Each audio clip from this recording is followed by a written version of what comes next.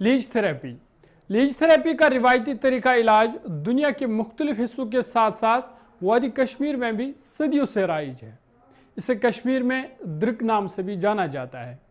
आज के साइंसी दौर में भी लोग मुख्तलिफ़ बीमारियों से नजात हासिल करने के लिए लीज थेरेपी का इस्तेमाल करते हैं।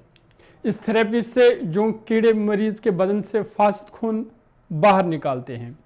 जो पानी में तैरने वाले एक कीड़े का नाम है जिसको जब किसी आदमी के जिसम पर लगा दिया जाता है तो उसका फासद खून चूस लेता है। ताहम यह तरीका इलाज साल भर नहीं किया जाता, बल्कि इस इलाज का एक मखसूस वक्त है और ये इलाज खास तौर पर नवरोज़ के मौके पर किया जाता है। श्रीनगर से ताल्लुक़ रखने वाले लीज थेरेपी के माहरीन का मानना है कि इससे मुख्तलिफ़ बीमारियों में मुबतला सैकड़ों मरीजों को ठीक किया जाता है। उन्होंने कहा कि लीज थेरेपी चौदह से इक्कीस मार्च तक की जाती है, जिस दौरान ईरान का नया साल शुरू हो जाता है। उनका कहना है कि अयाम high blood pressure uric acid वगैरह जैसे बीमारियों में मुबतला मरीजों के लिए ज़्यादा मौजूद है। यह तरीका इलाज ज़माने कदीम से राइज है और जलद दांतों के मसाइल, एजाबी निज़ाम की खराबियों इन्फेक्शन वगैरह में मुबतला मरीज़ इस तरीका इलाज से ठीक हो सकते हैं। मौजूदा दौर में भी लोग फिर इस तरीका इलाज को तरजीह देने लगे हैं, क्योंकि यह तरीका इलाज न सिर्फ़ सस्ता है, बल्कि आसान भी है। उन्होंने कहा कि एक जोंक की उम्र एक साल होती है, इक्कीस मार्च के बाद ये मर जाती है और जून के महीने में ज़िंदा हो जाती है।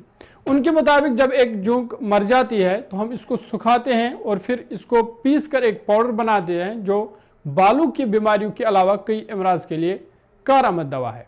दरियासना दरगाह हज़रत बल में नवरोज़ की मुनसबत से झील डल के किनारों पर दिन भर लोगों को लीज थेरेपी से इस्तीफादा करते हुए देखा गया। माहरीन ने इस सवाल मजीद क्या कुछ कहा? आइए सुनते हैं। इस थेरेपी का ताल्लुक है, करीबन 100 से ज़्यादा इसमें बायोलॉजिकली एक्टिव सब्सटेंसेस होते हैं लीज के एंजाइम्स में, जो फार्मोकोलॉजिकली बहुत अच्छा जो है ना रोल इनका है।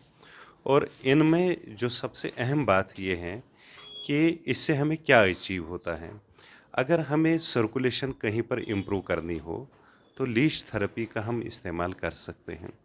यानी जहाँ पर भी आपको दौरान खून कम हो गया हो, चाहे वो ब्रेन डिसऑर्डर्स उसमें हो, चाहे वो हार्ट के डिसऑर्डर्स उसमें है, चाहे वो मस्कुलर प्रॉब्लम्स हो तो वहाँ पर इसका ज़बरदस्त इस्तेमाल किया जा सकता है।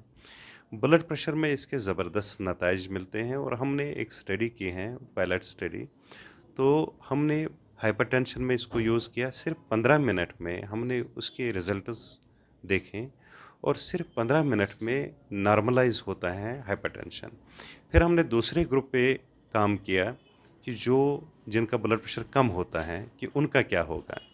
फिर हमने देखा कि सिर्फ़ पंद्रह मिनट में उनका प्रेशर ज़्यादा होकर नॉर्मल की तरफ़ आता है। यानी अगर आप ये देखें कि ब्लड प्रेशर में अगर आप टैबलेट खाते हैं तो कुछ टैबलेट ऐसे होते हैं कि जो ब्लड प्रेशर कम करते हैं। और कुछ चीज़ें ऐसी हैं कि जिनसे ब्लड प्रेशर बढ़ जाता है। मगर लीच एक ऐसी ये है रेमेडी है, जिससे ब्लड प्रेशर कम वाले को भी दी जा सकती हैं और ज़्यादा वाले को और दोनों को नॉर्मल की तरफ़ ही ले आती हैं। तो ये रिसर्चर्स के लिए एक बहुत बड़ी चीज़ है जिसको समझने की ज़रूरत है। इसी तरह से अगर वेस्कुलर ये प्रॉब्लम्स हैं सपोज़ ये जो हार्ट में वेसल्स होते हैं, उनमें ब्लॉक्स हैं तो उन ब्लॉक्स को भी खोलने के लिए ये लीच काम कर सकती हैं। इसी तरह से कुछ ब्रेन के डिसऑर्डर्स हैं, जहाँ सर्कुलेशन आल्टर्ड हुई है, कम हुई है तो वहाँ पर इसको यूज़ किया जा सकता है। उसके नतीजे हमें बहुत अच्छे हमने यहाँ पर ब्रोंकलाजमा, एलर्जीज़ में इसका काम, ये मतलब उसको ये मतलब एम्प्लॉय किया या देखा गया। तो हमने देखा कि उसमें बहुत ज़बरदस्त रिज़ल्ट हमें देखने को मिले। पाइल्स में एक फ़ाइल आती हैं जिसको हम थ्रोम्बोजिट पाइल मास कहते हैं। तो थ्रोम्बोजिट पाइल मास में हमने देखा इसके अच्छे रिजल्ट्स हैं। वेरिकोज वेन में हमने देखा इसके अच्छे रिजल्ट्स हैं। कुछ लोगों के जो चिलब्लेनस फ्रोसबाइट जो सर्दियों में यहाँ पर जिसको हम शू वगैरह बोलते हैं तो उसमें भी यही दिक्कत होती है कि माइक्रो सर्कुलेशन जब कम होती है तो हम माइक्रो सर्कुलेशन लीज से बढ़ा देते हैं तो उससे ऐसे यानी ये बीमारियों से छुटकारा हासिल हो जाता है। इसी तरह से वेरिकोज वेन में भी इसका अच्छा खासा किरदार देखने को मिलता है। ओवरऑल देखें विजन पे इसके अच्छे असरात हैं।